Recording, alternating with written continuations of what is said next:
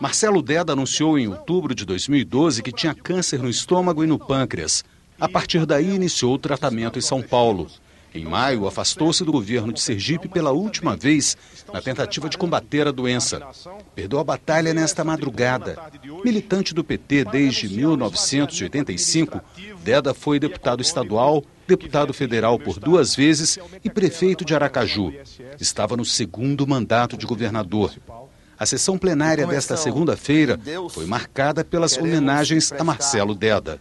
Em nome do presidente Renan Calheiros e toda a mesa diretora, as mais profundas homenagens àquele que foi, para os sergipanos e brasileiros, um exemplo de homem público. Causou enorme tristeza a perda de Marcelo Deda, um militante, governador do seu estado, com toda um, uma história política prestada e um serviço político prestado ao povo de Sergipe e ao povo do Brasil. Foi um político com P maiúsculo foi um político que soube aliar uma grande capacidade de diálogo, uma grande capacidade de formulação e uma grande capacidade de execução.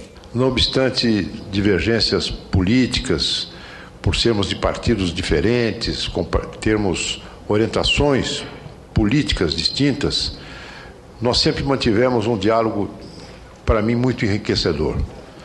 Marcelo Deda era um homem culto, inteligente, era uma, uma personalidade cativante, um brilhantíssimo orador.